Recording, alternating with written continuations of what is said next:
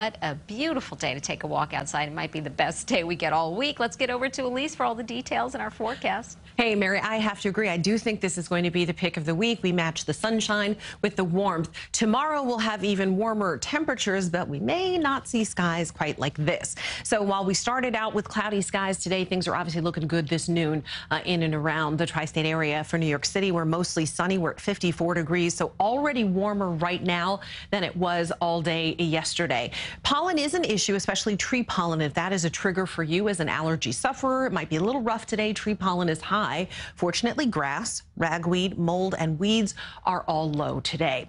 As we take a look at temperatures, well, you can see we're in the 50s across the tri-state area, 54 for Monticello, White Plains, Poughkeepsie, 55 for the Hamptons and Sparta, 57 for Edison and for Greenwich. So those are the two warmest locations. And these numbers represent a warm up over this time yesterday.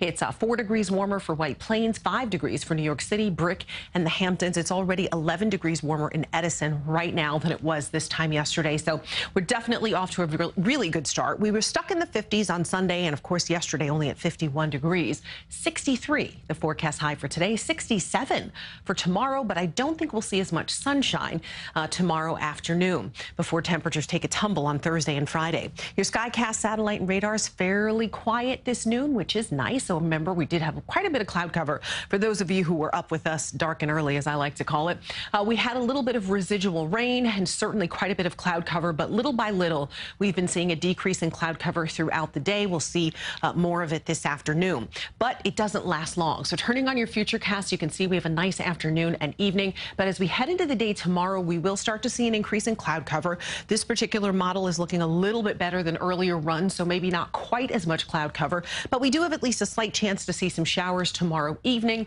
Around about a 30% chance that we'll see some rain on Wednesday. It is on Thursday that we are expecting a significant soaking. So you can see quite a bit of rain, heavy at times. That's going to take us throughout the day on Thursday. So Thursday's a soggy day. Even Friday, as this system wraps up, we're likely to see a little bit of snow out of this system. As far as how much rain we could get when it's all said and done, little over an inch to a little over two inches for some locations.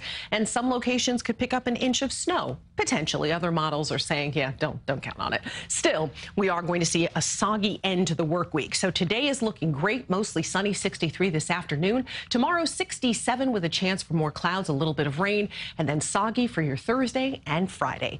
Mary? Elise, thank you. We'll